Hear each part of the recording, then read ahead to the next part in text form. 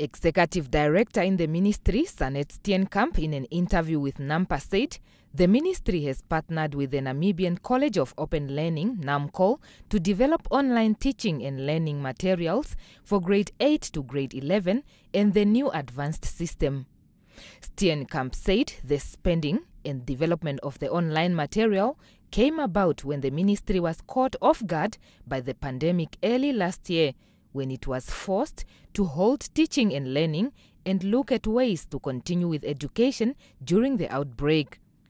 As part of the ways and means to transform teaching and learning into an online format, Steenkamp said $15 million was availed from the ministry's 2020-2021 operational budget